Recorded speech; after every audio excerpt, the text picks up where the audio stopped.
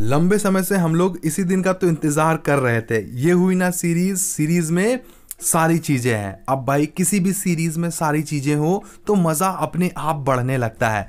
अब भी मैं इसकी आपा के पार्ट टू को देखकर आ रहा हूँ। और इस पार्ट टू में मुझे क्या अच्छा और क्या बुरा देखने को मिला, यही मैं आज आप लोगों को इस वीडियो में बताने वाला हूँ। तो हेलो एंड स्वागत है आप सभी का।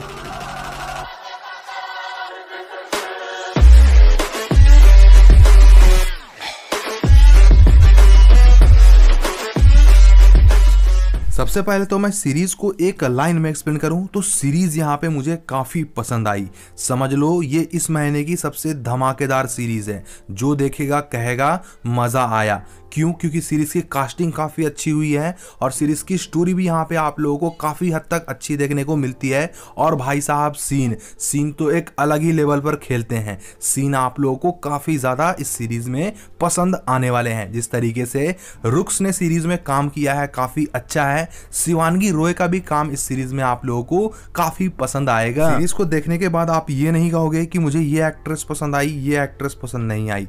दोनों का काम एकदम कड़क है, दोनों सेम लेवल पर खेलती हैं।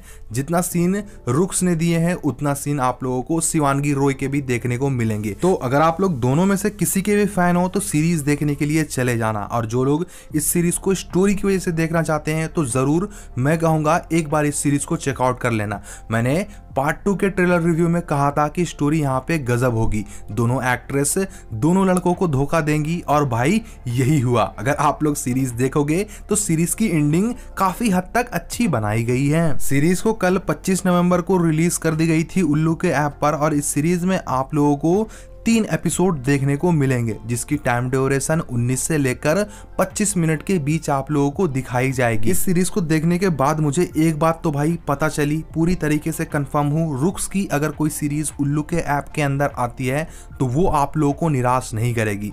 इस सीरीज़ को देखने के लिए अगर आप लोग एक्साइटेड हो, आपके अंदर थोड़ा एक्साइटमेंट है तो इस सीरीज़ को अभी देखने के लिए चले जाओ। काफ़ी दिनों के बाद उल्लू के ऐप के अंदर इतना ज़बरदस्त सीन दिखाया गया है तो मुझे मुझे नहीं लगता कि आप लोग मिस करना चाहोगे। जाओ सीरीज़ को जाकर देख लो और जब देख लोगे तो मुझे कमेंट करके बता देना कि ये सीरीज़ आप लोगों को कैसी लगी। तो बस इसी के साथ मैं चलता हूँ।